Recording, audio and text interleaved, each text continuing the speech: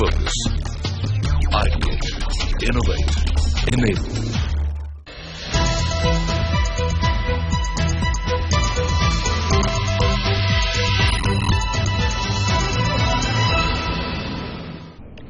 Welcome to Digitizing India Cisco initiative in collaboration with CNBC TV 18. In our final episode of this build up to Digitizing India Awards, we're looking at the impact of digitization on India's manufacturing sector. We look at how Mahindra and Mahindra is making its factories smarter and how ITC is improving its supply chain with the help of technology. In 2014, Prime Minister Narendra Modi launched the Make in India campaign with a vision to make India a global manufacturing hub. The goal is to increase the contribution of the manufacturing sector to the national GDP from the current 16% to 25% by 2025. This ambitious campaign has received a widespread positive response with Indian and international businesses announcing plans to invest large sums in manufacturing. A sizable chunk of this investment will be in technologies that will improve manufacturing processes. Companies are increasingly using the power of digitization to shorten production time, utilize resources optimally, and cut costs.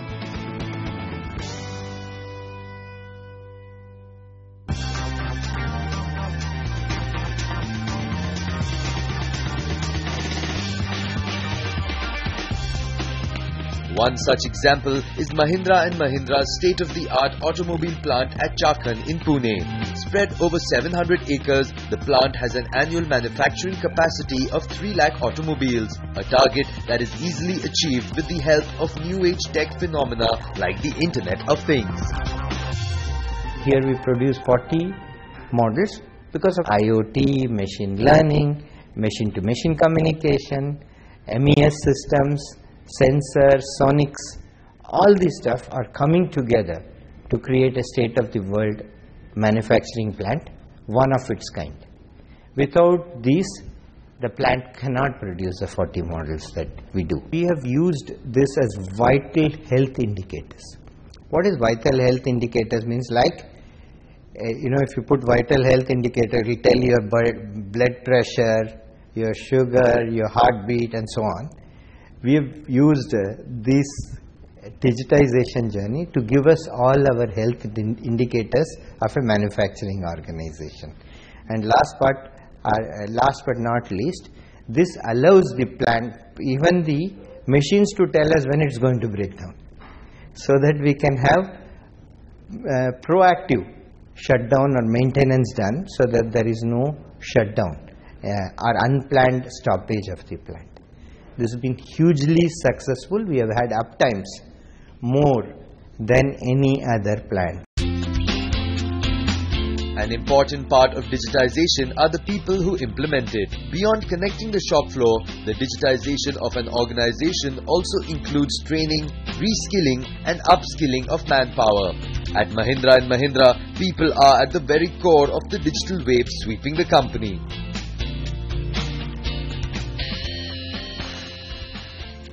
One of the key issues that digitization will throw up eventually is reskilling of manpower. Okay, let me give you an example of finance and accounts, which is which is easy, uh, and which we have seen over a period of time. Uh, when earlier the books were written by accountants, today nobody writes books of accounts. It gets generated on its own.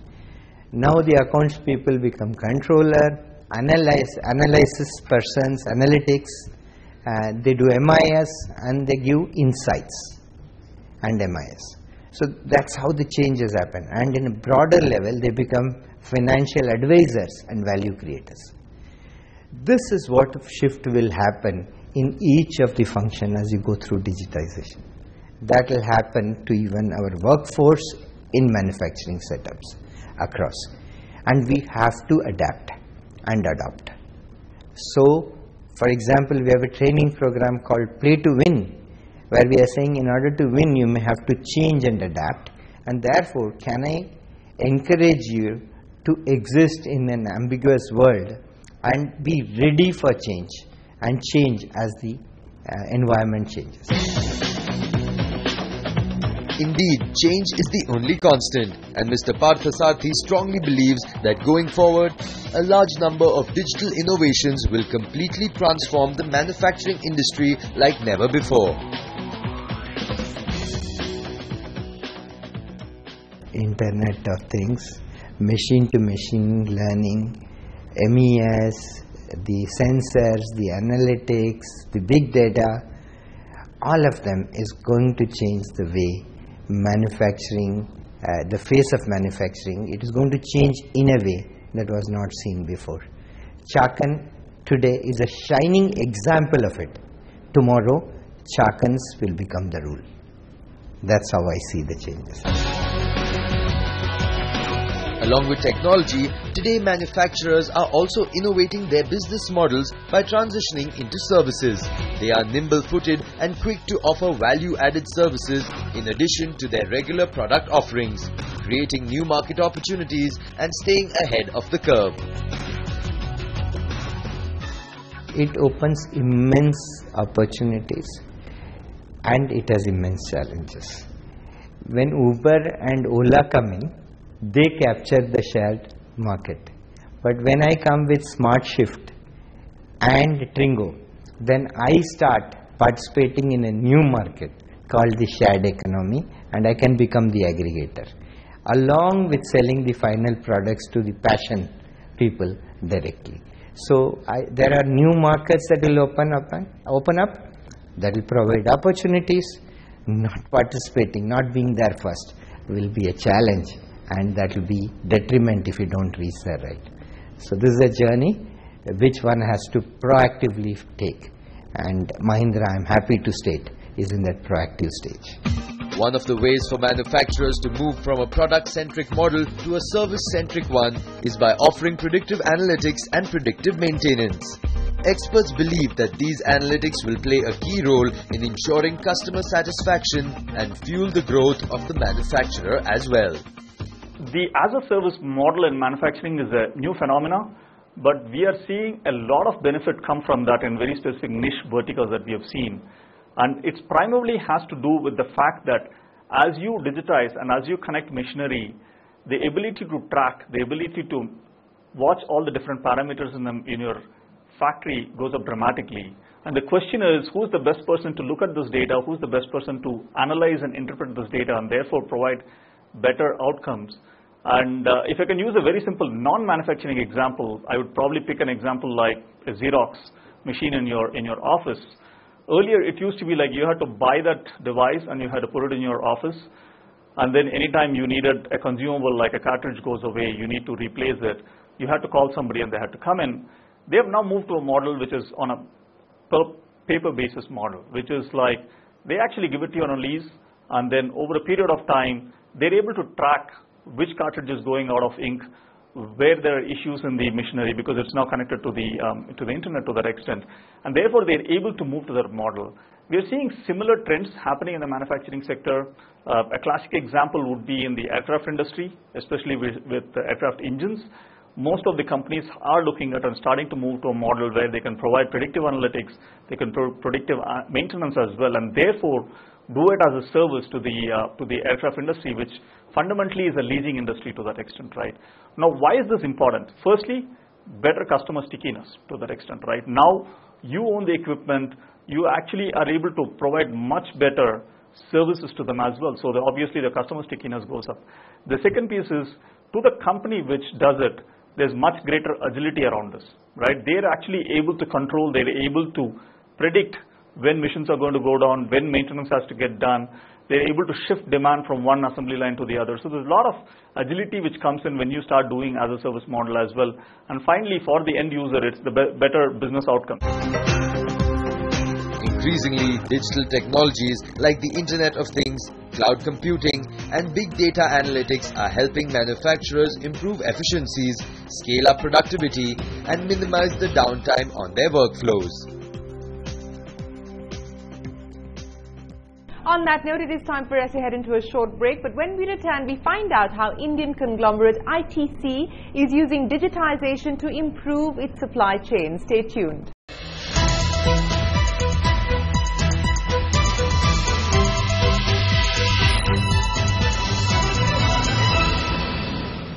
Welcome back. You're watching Digitizing India, Cisco initiative in collaboration with CNBC TV 18.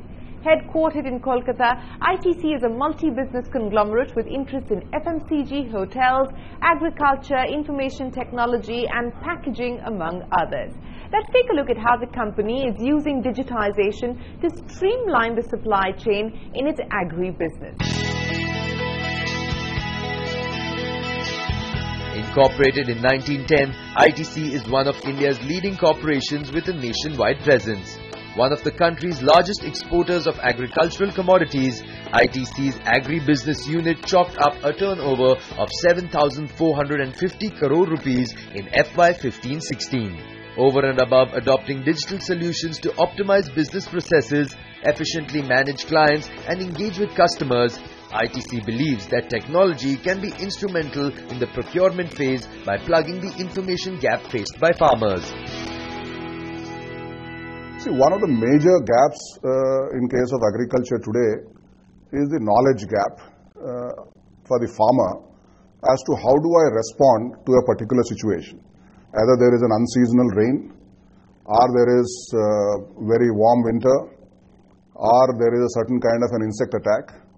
And the agricultural extension system which brought this knowledge to the farmer uh, is not as rapidly replenishing itself and refreshing itself to help the farmer to do it and is not available on a real-time basis everywhere. So this is where technology can really supplement and ensure that, that knowledge is available. Uh, image processing today uh, can instantly compare a, a, disease on a leaf with a library of uh, the leaves that are available through ongoing machine learning and say what is the possible diagnostic here and therefore how do you uh, deal with that situation. It can be done either by the farmer himself using a smartphone or through an assisted handling by uh, an extension worker. Uh, so I think knowledge gap is something that uh, the technology can really fill in.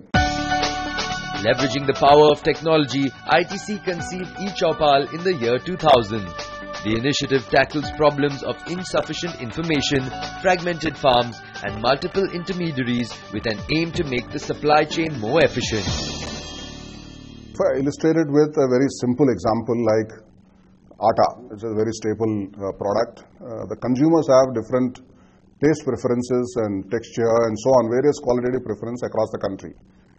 The erstwhile supply chain system was not able to deliver that. As a result, consumers are actually buying wheat and getting it milled uh, to their own liking. And the digital technology in the form of e-Choupal really helped in creating a backend where you could preserve the identity of different varieties of wheat, create that whole traceability from the mill and the packed Aashirvaad atta to a complete backend uh, so that you are delivering what a consumer wants for the consumer delight. Uh, by understanding the consumer needs, the product chemistry, and the, the product physical parameters on which it is bought from the farmers.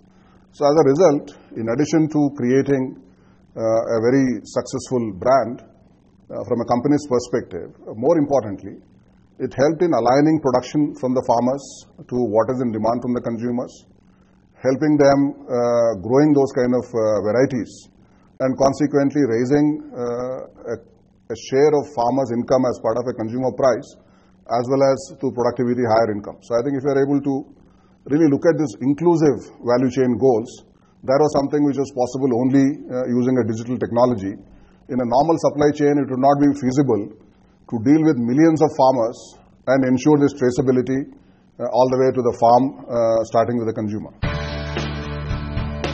ITC's e-Choupal services reach out to over 4 million farmers in 35,000 villages across 10 states of India.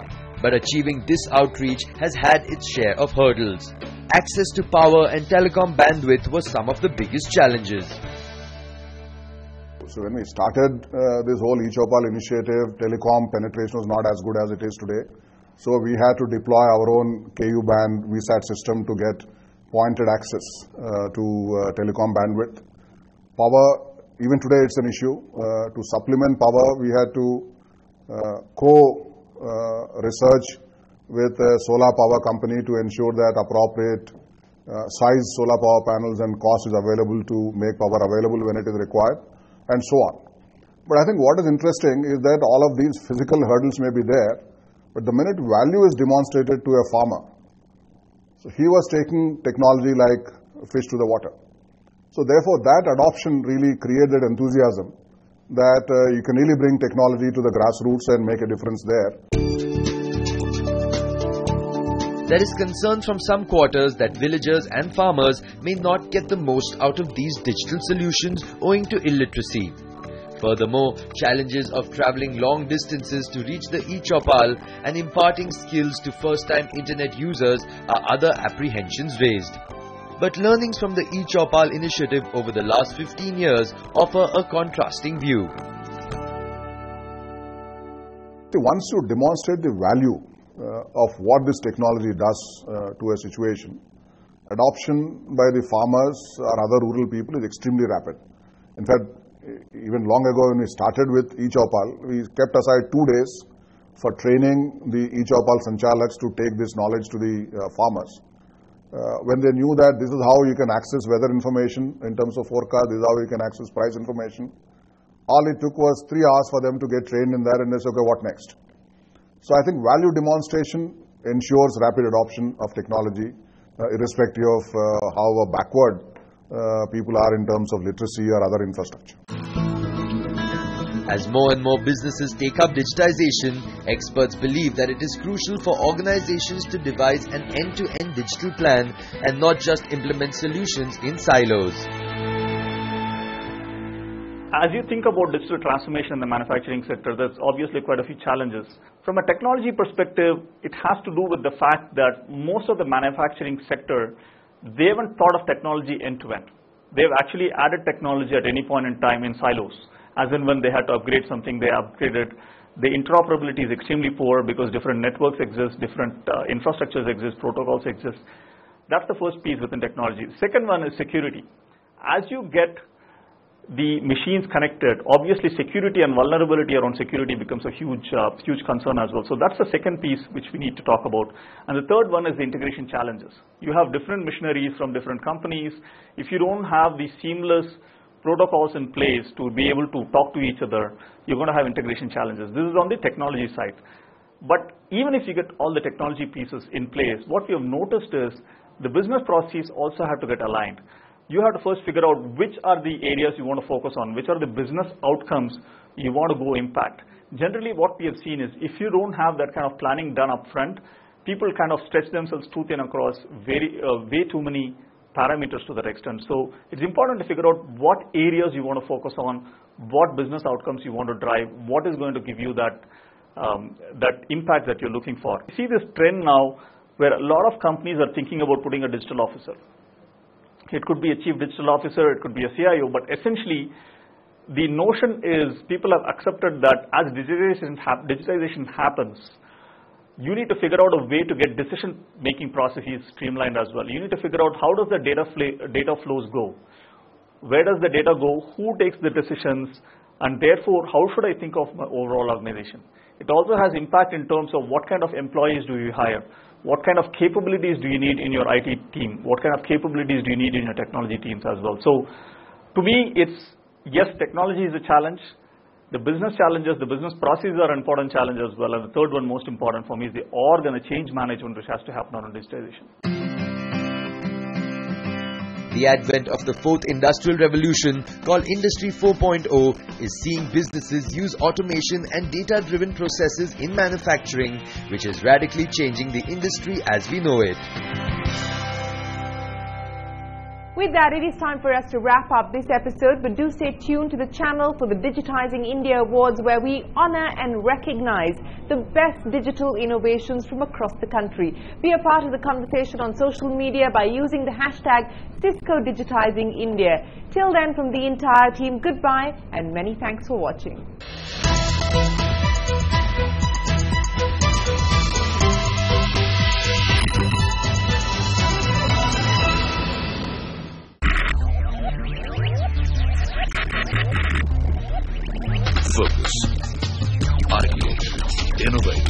in the